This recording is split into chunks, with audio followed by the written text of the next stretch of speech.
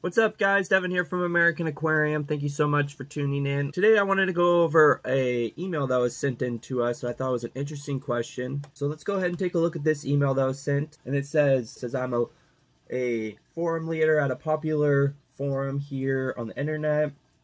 We noticed that you have some of the old Aquatronics line of medications for sale. We use these back out in the 1970s and 80s, in particular Marex. Since then, we've done a lot of work with chloroquine. My question is, is do you expect to continue to have it? What is it great for? And uh, if you could help us get a source for it. Okay, so we appreciated this question here at American Aquarium. We do have some history going back to the 70s as well using Marex, which is a chloroquine. Uh, chloroquine sulfate based drugs. It has been a very successful fish treatment for some time. Uh, going back to the 70s, Carl Strohmeyer, our founder, had great success with this particular blend of chloroquine. And here in our medications on the screen, you can take a look here. It says aquarium medications, part two, chloroquine sulfate, and goes into the history of why we think it's great, what it was used for. We also give a disclaimer not to use fish medications for human consumption. Okay, so we're going to step back just a second and say what is Merrick. Marex is a colorless antibiotic blend of chloroquine phosphate and some pyrimethamine.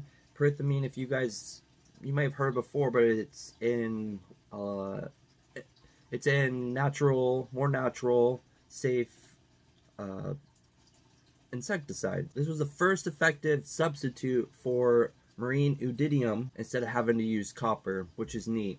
Marex is an effective colorless aid in aquarium for treatment of prevention of marine oodinium related to Brooklynella as well as Chilodonella in freshwater, fish that are sensitive to copper, marine ick, cryptocaryon. Marex is a copper substitute and unlike copper may be safely overdosed in difficult cases as a preventative but here's a, a warning avoid using in the presence of invertebrates. Okay, so now I'm going to go over to uh, what Carl Strohmeyer, the founder of American Aquarium, the resident disease expert, has to say of the medication.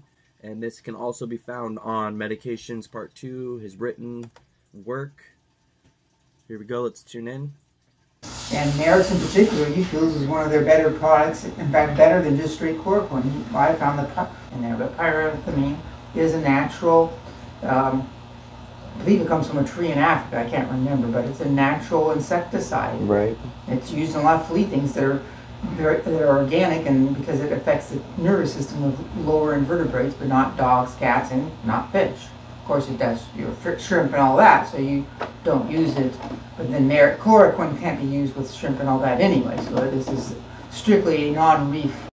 Alright guys, I hope that was somewhat informational for you. The use of chloroquine for parasites, other things, the effectiveness, and how this medication has been tried and true for a long time now and has now been making it its way back onto the market because of its effectiveness. Oh, if you guys like this video, please put it in the comments below. Let me know, and I'll do more format, more videos in this type of format. trying to figure out the new YouTube, uh, how it's going to look and feel for 2020. Also, know here at American Aquarium, we appreciate you guys so very much. Thank you for your support, and um, we'll talk to you guys next time.